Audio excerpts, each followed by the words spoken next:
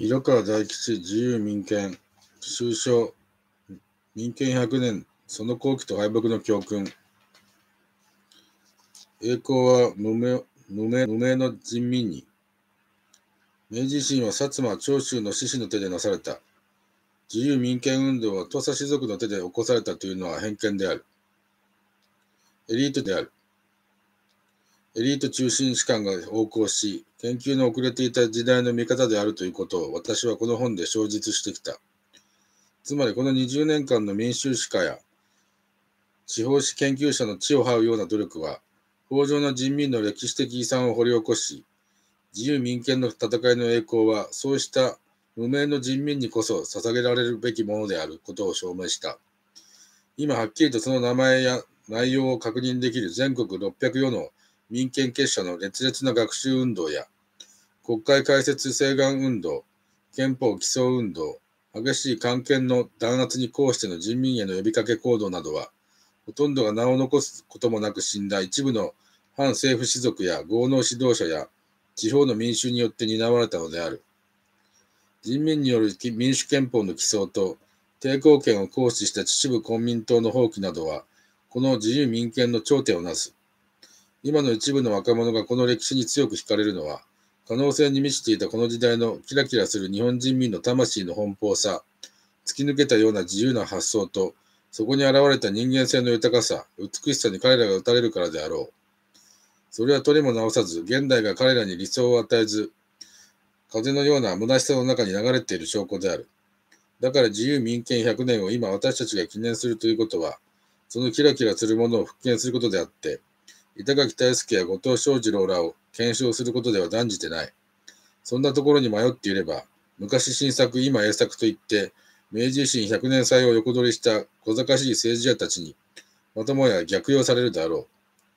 1881年、明治14は、日本人民が先制権力の容赦のない弾圧に抗して、自らの手で民主的な憲法草案を起草し、日本の歴史上初めて革命的な全国政党を結成した画期的な年である。それから今年は丸100年、私たちはこの日本人民の空前の戦いの達成点と敗北の苦い経験を貴重なものとし、これを革新的な伝統に再生して現状の変革のために役立てたいと考える。なぜそれほどまでに高揚した民権の意識がたちまちのうちに国権のが国権の潮に押し流されていったのか。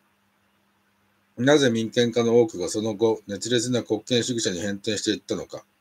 その難問についてはしばしば本文でも試験を述べたし、この章でもまとめて論じてみたいが、その問いは今日の思想状況とも相通ずる。戦後35年、民主主義は管理体制と化して形骸化し、平和日本の繁栄の道を開いた新憲法は、占領軍による押し付け憲法として否定されようとしている。こうした状況になるがゆえに一層新たな決意と行動が必要になったのである。民権100年のアピール。1981年11月を期して、自由民権100年を記念する全国的な大集会を開催しようと、北海道から沖縄まで日本列島各地に結成された実行委員会を基礎に、80年11月、全国集会実行委員会は次のような歴史的アピールを採択した。その分は自由民権運動は全ての人が権力も犯すことのできない人権を持っていることを主張した。そして人権を確保する保障として憲法を制定し、国会を開設し、官僚先制政治を打破することを要求した。この人権と民主主義の理想のために、当時の青年たちは、都市と言わず、農村漁村と言わず、何百という学習会や討論会を組織し、地方政社を結成した。私たちが1981年という時点で、あえて自由民権100年の全国集会を開こうとするのは、人権と民主主義のための日本人民の戦いの足跡を明らかにすることが現代にとって大きな意義を持つと考えるからである。と述べ、100年前の民権と自由の戦いに命を懸けた日本人民の情熱と悲願を現代に蘇らせらせることこそ、この記念集会の真が真の意味があるものと考えると結んでいる。私はこの自由民権100年のカンパニアに少なくとも1980年代の前半5年間は ,5 年間は続けるべきだと考える。またこの民間民権年間の2つの山は、81年と84年になると考える。1881年、明治14は自由民権運動の最高潮の年であり、全国各地の草の根からの力によって先制政府を内部崩壊の危機に追い詰めた年である。1884年、明治17はといえば、この運動が明治14年の政変後、権力の総反抗によって押し返され、士族民権化や豪農指導者たちに日和見と脱落が始まったとき、その内部から彼らを乗り越えて前進しようとした一部急進派と革命的農民が登場し、群馬事件、馬場さん事件、によって国会の開設が決定し、後者によって民主思想の頂点が形成された。それゆえに私たちは1884年を自由党回答の日をもって記念しない。むしろ秩父コミューンの成立の年として記念するのである。なぜ今更自由民権100年なのか。明治と現代という2つの時期の状況と主体と課題の間にあまりにも生々しい類似性を見出すからである。このカンパニアを高度に現代的な思想的意味を持つものと考えるからである。防衛問題。私たちは今、防衛問題と改憲問題をめぐって国論を二分するような対立に直面している。100年前の人民もそうだった。当時、我が国は経済的にも軍事的にも東アジアの極めて小さな独立国であった。後進国であり軍事小国であった。そして欧米列強についてはもちろん、隣邦、新帝国中国とロシア帝国の脅威を感じていた。状況は今日よりはるかに厳しい。時代は世界帝国のむき出しの侵略開始期で、それに歯止めをかけるようないかなる国際の侵略開始期で、それに歯止めをかけるようないかなる国際機関も存在していなかった。軍事小国日本の安全をどう保障するか、それは民権派にとっても片時も忘れることのできない問題だった。民権派はまず先制政府を打倒し、国内の民主化を実現し、国民の自発性と愛愛護心、愛国心を振り起こすことが大事だと考えた。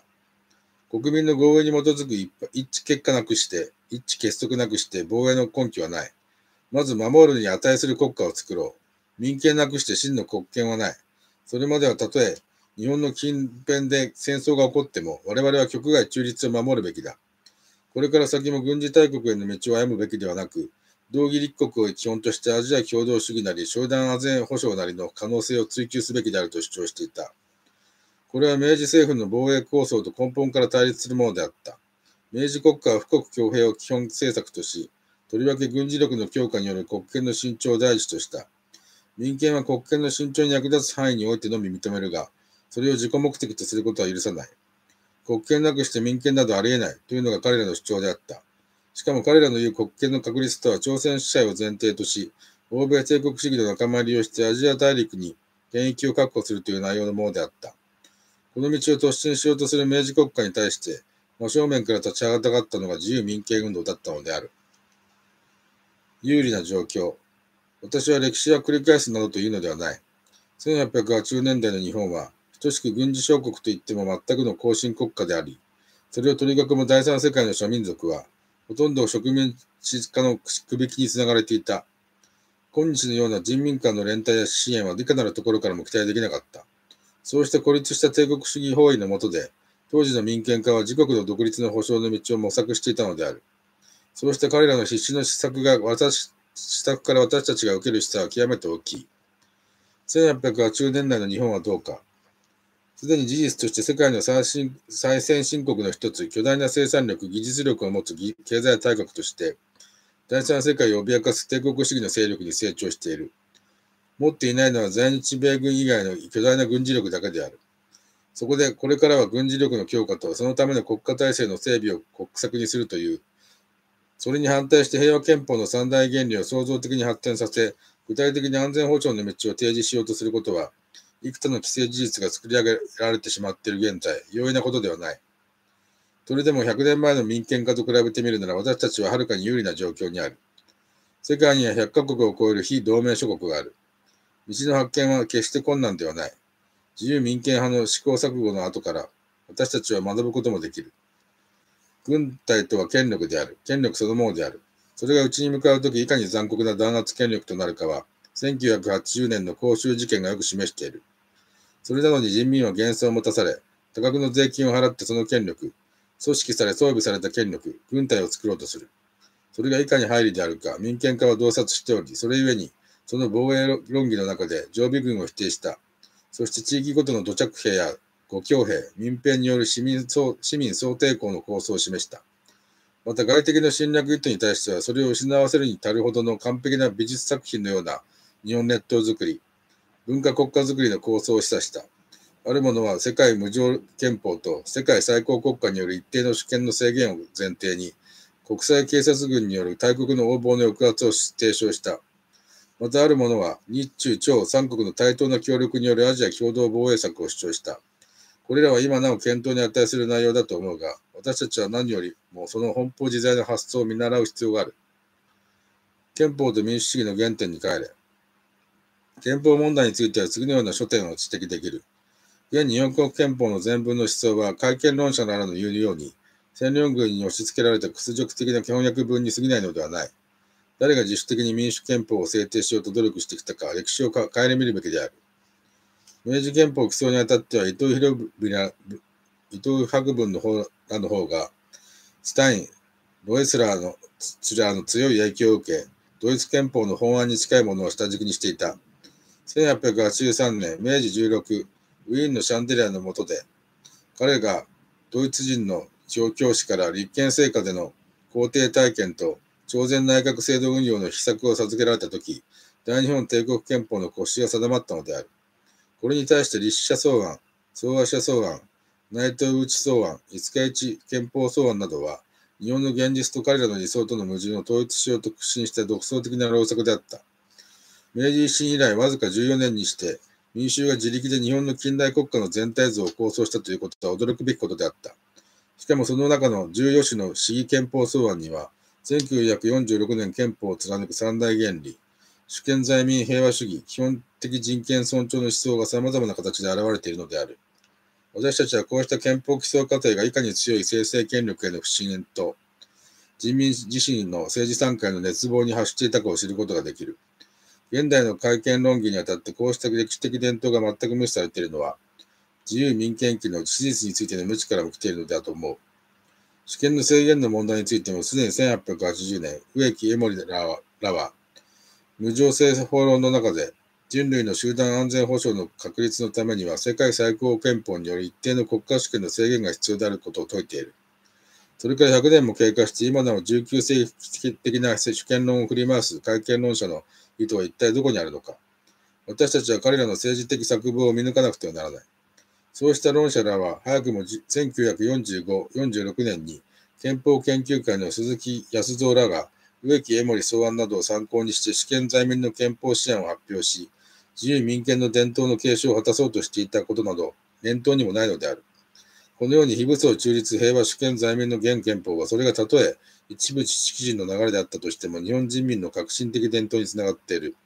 そのことを私たちは第4章でも述べたし、民権100年のカンパニアを通じて広く人々に訴えていきたい。第3に民主主義の原理に帰るという問題がある。今の日本では全て反動政策も軍事化路線も民主主義の名によって推進されている。決して民意を正しく反映しているとは言えない選挙によっても、一旦合法的に政権を握った者はオールマイティであるかのように振る舞う。現在の民主主義は事実として名目的多数派の先制の道具になり下がっている。国民が司会者であると言っても、それは4年に一度の選挙の時だけであって、翌日からはまた無力な筆者に戻ってしまう。自由民権化が命を賭して戦ったのはこういう民主主義のためではなかった。もっと一人一人の人民の意思が尊重される制度であり、独性の高い理想であった。そもそも民主主義の基本原理とは何であったのか。民権家たちはそれを人民による政治、つまり大執執行者たちによる人民のための政治ではない。人民自身の参加による人民のための政治だと考えた。それがあの情熱的な各地域での政治活動や国会開設運動の話を呼び起こしたのである。民権家たちは民主主義を単なる投票行動に限定していない。政府、権力の保持者は必ず悪をなすものだという哲学を持っていた彼らは、人民による絶えざる監視と批判活動を起こす民主政治の不可欠の条件だと考えていた。したがってその批判の条件は最大限に保障されていなくてはならない。人民の言論、集会、出版の自由権や悪政府に対する弾劾権、抵抗権を保障していないような民主制は、見境化の欺瞞であり、人民による政治の原理に反する。自由民権の激化事件と言われているものは、そうした信念を行動に表したものであり、私は正しくは抵抗権行使事件と呼ぶべきだと考える。自由民権運動は先制政治の苛烈な弾圧と戦って遂行されたものだけに、現代の理論的な一括二任方式の民主制や形骸化された管理民主主義に原理的な反省を迫る力を持つ。特に秩父法規が提起した社会的平等やコミューンの思想の問題は、現代民主主義と市民社会に欠落している部分を照らし出す光を失っていない。秩父事件こそ自由民権運動全体を足元から照らし出す公言だったばかりでなく、現代の閉塞状況に置かれた若者の心を差し抜く掌握力を持っている。脱は入道の差別構造。次に民権運動が克服できなかった内部的弱点について少し詳しく触れておきたい。それはなぜ自由民権が敗北したかという原因の究明や、その失敗の経験から学ぶことにもなる。日本の自由民権運動は早熟的なブルジョア民主主義運動であったと言われるだけに、その内部的弱点は山ほどあった。それを全部ここで復習するつもりはない。またそれを克服できなかったと言って民権化を責めるつもりもない。むしろ不利な条件の中で彼らはよく戦ったのである。弱点を克服するにはあまりにも時間が短すぎた。西南戦争から重党の回答までわずか7年間しかなかったのである。むしろ問題はその後にある。民権運動の敗北から学んで当然その内部的弱点は克服されてよいはずのものが、そうならずに100年経過してなお欠陥として残り続けているという点にある。そこにこそ深刻で困難な問題があるはずなのだから、ここではそうしたいくつかの主要な論点を取り上げることにしたい。例えば本文の第3章でも説明したが、雑話論的な考え方というのがある。これは1885年、明治18に福沢諭吉によって提唱され、当時としては少数の民権派の知識人や為政者に受け入れられて、民権運動のつまずきの石となった。ところが現在どうであろうか。脱ア論の歪みは克服されたどころか、今では日本人多数派の思想にまでなっているではないか。しかもこの脱ア入用的な思想はますます根を広げて、これから述べる多くの事柄と深いところで絡み合う関係を成しているのである。最近では多くの人が認めている自由民権化が克服できなかった内部的弱点の第一は、うちにあっては被差別部落や沖縄、アイヌに対する別紙、外に向かっては朝鮮、台湾などの人民に対する差別や別紙であろう。この偏見はこれらの非抑圧者を社会の最底辺に位置づけ、階層を接する民衆同士を互いに対立させ、憎悪させて、巧みに討議を支配してきた天皇制の差別序列構造に民権化を巻き込み、その全体像に対する批判の目を潰してきた。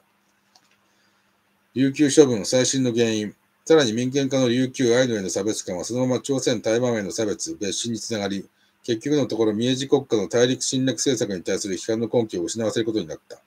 これを単純に欧米列強によって日本の独立が脅かされたから、やむを得ずにやった諸子と抗弁することはできない。むしろ進んで脱は入用の道を選び、隣国の独立を犯しても強固だろうと考えた。その思想から発していたのである。つまり民権化の多くが国権主義者に転落していく最新の原因は、自らの差別の意識の中にあったのであり、それが琉球処分や朝鮮処分に展開し、挙句の果ては脱は入を、欧米帝国主義の仲間入りの道を走り、若手で墓穴を掘る結果を招いたのである。末広重康、鉄長は、自由党セオルチの時、上議員に選ばれたほどの民権家であったが、1879年明治12、1月、琉球処分の直前に琉球国の独立を訴えた首里士族らの行動に怒って、琉球罪、流土罪すべしという論説を朝野新聞に発表した。末広はこの時琉球人民の民権にはまるで目が届かず、明治国家の権力的な琉球併合を支持したばかりか、流土という部別の言葉を発していたのである。その後、末広はどうなっていくか。上海に根拠を置く東洋学館、1884年明治17、8月設立の官庁を引き受け、国権主義者の道に転落していった。自由新聞が朝鮮処分という社説を発表したのはその年、1884年12月19日である。それは海進党の藤田木地、犬飼剛、尾崎幸雄らが朝鮮の内地に干渉しもしもって、これを平略することを務むべしとの朝鮮処分の進言を伊藤博文に呈したのと同類であった。琉球処分に賛成した者はやがて朝鮮処分に向かう。その軌跡を末広鉄長ほどの人が示したのである。当時、琉球への差別感を克服した文献家は極めて少数であった。その中でも植木江森は琉球独立論によって卓越していた。彼は日本と新国が琉球を沖縄本島と宮古、八重山群島の2つに分割して領有を統治するという外役分島案を知って鋭く反論し、逆に琉球を独立せしめることがアジアの進むべき解明のへの道だと主張した。そしてその独立した弱小国の権利は、バンコク協議政府によって安全を保障するという構想を持っていた。植木は日清両国による琉球の分割案を残忍国国逆、野蛮不分の極地として人民の視点から根底的に批判した。だがその凍結した論理の持ち主植木ですら、1884年明治17、12月の更新事変では、政治政府の情報操作に目を曇らされ、政治的なつまずきを見せているのである。国権論への転落。明治の自由民権運動は特に1881年、明治14以降、いくつもの悪条件に見舞われていた。先に見た松方財政による経済困難もその一つであろう。日本資本主義の本源的蓄積過程の強行は農民層の分解を激化し、自立と小作、豪農と貧農、反プロレタリの対立を表面化させて、民権運動の最大の支柱であった豪農層の足元を突き崩した。広範な豪農民権化の戦線離脱が始まったのである。さらにその上、82年、明治15からの国際情勢の変化から来る不利が加わった。1882年の神後の軍乱は、新国軍隊の朝鮮への進出をもたらし、日本の支配層を巻き返しのための軍備の増強に向かわせた。つまりこれまでの戦士防衛、内乱鎮圧の常備軍から大陸作戦遂行に耐える軍備へと主眼を転換させたのである。このことは民権派内部の国権論的な分子に動揺をもたらしたばかりでなく、増税の断行によって民権運動支持層に大きな打撃を与えた。それでもなお、1882年には自由民権派の内部、内地改良優先の方針は変わらず、アジア情勢に対する局外中立論や平和同義国家構想が主張されて、明治政府の軍事化路線に有効な歯止めをかけることができていた。それが1884年の更新事変になるとまさに一変するのである。自由党も改進党も党を挙げてその抑止力を失い、外から見る限りむしろ政府よりも好戦的な姿勢を示して、明治国家の大陸政策に引きずられていった。なぜそうなったかについての詳しい説明は繰り返さない。一つは新仏戦争の本格化、およびロシア、イギリスの朝鮮への進出の動き、この朝鮮をめぐっての日清両国の軍事衝突など、一連の東アジア情勢の緊迫化が、後進国ナショナリズムを刺激し、民権派の座標軸を押し流した。だが二つにはより根本的な原因はむしろ国内にあった。主体の側にあった。合農層の運動からの広範な離脱によって地方政者や中央政党の右傾化と急進化という二極分解が進み、大勢として多勢保守化を強めた政党の主張がこの時点になって明治先制国家との正面からの戦いを放棄してしまった。そこにこそ真の原因が求められる。権力との戦いをやめてしまえば争点は見失われる。加えて民権化自体に沖縄、朝鮮などへの別紙、差別感があった以上、我が国威を傷つけた流度や感度をこし懲らしめて処分せよと迫るようになるのは不可避である、あったろう。その上、国家による外交情報の独占と排外主義的な世論操作が、一般国民のナショナリズム感情を煽り立てた以上、平等の信念がない限り、この潮流に移行することは難しかったと思う。それは何も明治時代のことばかりではない。20年前まで反戦基地闘争や平和運動の機種であったような人物が、北方脅威説が唱えられるようになると、たちまち国家主義の先鋒になり、軍事化や核武装をあるようになる現象は、今我々が眼前にしている光景風景である。民権論から国権論へ今多くの知識人が雪崩を打って転向しつつあるではないか。自由民権民権派の弱点は国権と民権との関係を深く掘り下げ、普遍的原理的な確信にまで至れなかったというところにある。防衛という名の権力の発動の前には、人権の抑制をもやむを得ないというような主張に簡単に同調してしまうというのは、人権が何者によっても犯すことができない基本的な権利として捉えられていないからであり、またそれが生物や身分や階層や民族の違いによって差別されてはならない普遍的な権利であることへの信念が欠けているからである。天は人の上に人を作らずといった福沢の一句が資源である。それは人はこの民を生ずる彼に厚くこれに薄きを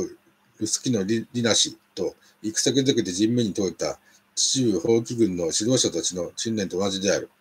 大事なことはこれは圧政にこうして貫いていくか否かにある。この信念を原理まで徹底させて持ちこたえるか否かにある。多くの民権家は民衆思想史研究の真意。多くの民権家はその思想の不徹底を指摘される。もし彼らが中谷長文のように民権これ私利なり、自由平等これ大義なり、百の帝国主義ありといえども、この利義を滅殺滅没することはついにうべからず、と人権の普遍性や民権の原理的平等性の把握に徹底してならば、あのようにやすやすと排外主義に持っていかれることはなかったであろう。また国内においては、社会的差別を許す人民は必ず排外主義に転落するという。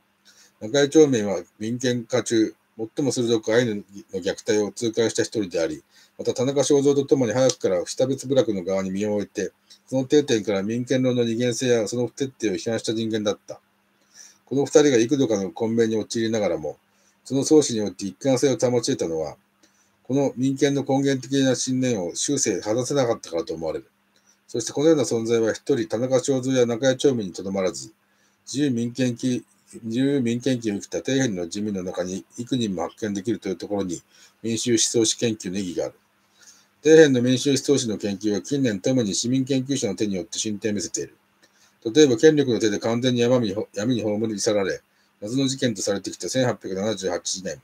明治11、8月の近衛手砲兵の反乱事件は、麻生三郎氏が竹橋近衛暴動の真相を追求する会の人々の努力によって、最近続々と新資料が発見され、この事件の持っている思想的な性格が浮かび上がってきた。特に最近の栗原伊十郎文章、極死した兵士の画像文章は重要である。その一つに岡本大隊長が3名の兵士に向かって、今夜このこの絵砲兵が政府に乱を起こす起こすが、その方どもはこの絵につくか、または政府についてこの絵を妨げるかと問うところがあるが、兵士らはその話を持ち帰って一堂に相談し、我らはじめ一等国家万民のためならば、この絵について共にことをなさんと評議一決したと報告している。この反乱がいかに兵士たちの自発性に基づいているかを実証しているとともに、その根底に変革的な思想があったことを示唆している。自由民権期の民衆闘争としてますます重要性を増したと言える。総じて自由民権期には西欧の近代革命思想の影響が強いが、この他にも、秩父事件などに現れたような自前の底辺人民の変革性が認められている。ところが、それを普遍的な近代思想の一脈として論理化し、評価し、位置づけることが行われずに来た。そのため、秩父的なコミューンの成立という日大事件も、我が社会思想史の上に特筆されることなく来たのである。これは第5章にも記したように、これからの民主思想史の課題であろう。近代社会主張の4つの流れ。私は自由民権思想は、日本の近代社会主張の源流だと考えている。それは西洋近代のモデルを主流とそうでない伝統型の流れとの2種を内に抱えながら、次のような4つの流れに分かれていったとか捉えている。A は西洋モデルを主流、B はアジアの近代モデルを模索する別流とする。試験では A は2つ、さらに2つに分かれていく。1は多くの民権家がそうなっていったように、西洋モデルの近代化過程を国家の制度を通して迫っていった近代主義の主流である。それは加藤博之から江藤淳まで多くのイデオログを持ったが、制度的体現者としては伊藤博文、原隆、吉田茂、佐藤栄作らの解明派官僚の両線を形作っている。2は近代左派社会思想へ連なる流れである。これは民権を捨てた人たちではない。西洋近代の原理を永久革命の主題として追い続けていく。そのことによって自由思想から平等思想へと、その反体制的な変革観念を展開していく。植木家森、中谷町民、高徳修水、川上はじめ、三木清らがその高い綾線として並ぶ。もちろん綾線はその思想を持って初めて成り立つ。2の、この A の2のその思想は、近代日本の社会運動者によって担われてくる。担われていく。B のアジアの近代モデルを模索する流れは論理体系としては十分な成熟を見ていない。だが日本人の思想史の上で無視できない潮流を成している。これも二つに分けなくてはならない。一は近代右派社会思想へ行く流れ流れである。渡辺教授氏が日本コミューン主義の系譜としているものと重なる。樽井東吉や宮崎彌三、宮崎総天、北一輝らがその山並みの綾線を形作っている。その自由民権期には西郷軍に投じた各地の総合体や士族民権結社の中に多くの同質の英才が姿を見せていた。だがその後歴史の伏流に深く没する。この思想の定流を無視して日本の思想史を語ることはできない。中谷町民などは A に属しながら B の領域にはみ出す部分を深く増していた。それが彼の名著、山水人経輪問答をなさしめている。だが B はそれだけではない。最も重要なものがある。それは B の2の底辺民主の抵抗思想の伏流である。自由民権の後期はそのこの新聞までその思想が根を下ろしているところにある。この流れは福島、群馬、秩父事件などから発して、明治後期の渡良瀬川被害民の戦い、田中正造が生死を共にして谷中村の戦いに通じ、さらに大正昭和前期の人民ニヒリズムの定流や労働者、農民の社会運動の中にも一部分を受け継がれている。秩父で放棄した人民は当時の思想的前衛の頭上を乗り越えて、真に根源的な理由を無声の語、コミューの中で体験した。そのきらめくような精神の攻防が現代の若者の魂をも引きつけるのは当然である。人間の解放理概念としての近代が西洋の戦友でない限り、1884年、明治17年に決起した底辺の人々は秩父型の近代を目指していたのである。だがそれはついついに十分に論理化されずに忘却されてきた。私は1970年代に一瞬の攻防を放った水俣被害民の戦いはこの流れに属するものと捉えている。民権運動は終わっていない。自由民権運動はなおいくつかの重要な内部的弱点を抱えていた。明治官僚政府が収束に中央集権的体制を固めつつあるあったときに、人民自身も自らの経験を通して統一の組織を持つこと持つということ、党を持つということの意味を発見していた。そして一斉に余る民権結社、国会規制同盟を得て自由党、革新党を目指していた。ところが明治政府が本格的な総反抗に出た直後に、革新的党派が第二義的なことで敵対、構想を繰り返し、ついには自滅に陥っていった。そうした運動の方が我が国の政治風土では現在でもなお克服されていない。また明治の民権化は天皇制の独特な人民支配の差別と阻害の構造、その枠組みを破ってトータルに認識することに失敗した。このことは政治的洗脳性が廃棄された現在でもまだ克服されておらず、新たな内外人民への抑圧と差別の現構造の中に引き継がれている。憲法問題や防衛問題はもちろんのこと、人権や民主主義の権利の問題、土着的人民的抵抗の思想家の問題、脱は入王の問題、天皇制の問題など、自由民権運動の敗北の後、幾度もの歴史的な試練を得ながら未解決のままに残されたことがあまりに多い。その意味でも自由民権運動はまだ終わってはいない。歴史として完結しておらず、現代の私たちに切実な課題として引き継がれている。民権運動の意義。最後に一言自由民権運動の意義について復元しておきたい。右のような多くの弱点を持ちながらも、我が国歴史上にもしもこの運動がなかったとしたら、1890年、明治23という早い時期に国会が開設されることはありえなかったろう。また仮に政治変革としての直接の効果が乏しかったとしても、この運動が持った文化運動、思想運動としての意義を消し去ることはできない。日本人民はこの運動を通じて抗議の政治学習によって、初めて国民としての政治的開眼を遂げ、近代社会建設の活力を奮い起こし得たからである。明治の教育の奇跡と言われる国民の修学習字率の修学率の驚くべき上昇も、政府官僚の指導だけで達成できたものではなく、自由民権期の学習熱と幾百戦の民権結社の活動によって補われ、押し上げられたのである。さらにこの運動の思想的影響が欧米帝国主義の圧迫に苦しみながらも民族の独立と国の近代化を求めて戦っていた中国、朝鮮、ベトナムなどにまで及び、それらの諸国民の民主化や民族独立運動の勃興に貢献したということの意味も、私たちは見落とすことはできない。私たちが自由民権100年の記念行事を行事を、一人は国民、日本国民だけではなく、第三世界を含む世界中の人民と共に盛大に行っていきたいと願うのは、100年前の民権家たちの開かれた精神を継ぐことになると信じるからである。